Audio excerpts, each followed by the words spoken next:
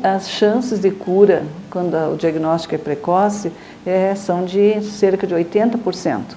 Então, isso significa que a grande maioria das crianças pode ser curadas com diagnóstico precoce. Quando a criança vem numa fase inicial da doença, a criança está com muito mais resistência orgânica, está mais nutrida né? e existe muito menos órgãos acometidos pela doença.